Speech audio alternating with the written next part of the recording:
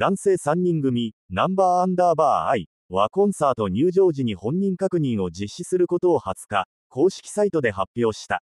画像あり、渡辺直美超人気アイドルと再共演が実現し夢の 2S。余裕で人見知り全開祭り大爆発も、最強のコンビ。公式サイトでは、ナンバーアンダーバーアイライブツアー2024ナンバーアイ本人確認実施のご案内と題して更新され、開催にあたり、お客様へご案内とお願いですとし、各会場にてご入場時に、すべての代表者様のご本人確認を実施させていただきますと発表した。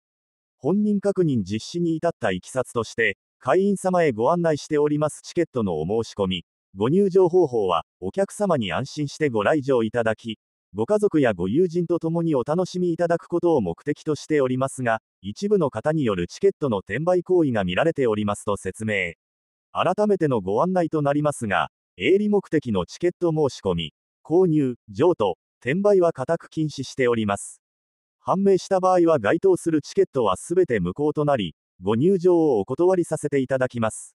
公式以外でのチケット転売、購入お客様間での売買は絶対に行わないでください、と注意喚起した。また、東部の X、旧 Twitter では、私たちが今できる対応として、心苦しいですが、これからツアーを開催するナンバーアンダーバー愛公園につきまして入場時の本人確認を実施したいと思います。